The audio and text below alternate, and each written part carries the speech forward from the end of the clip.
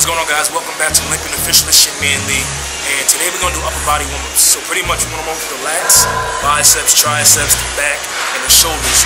All by using this one jungle gym machine right here. Alright guys? We're gonna go three sets, pull-ups, dips, abs, back to back to back. Here we go. Stay tuned.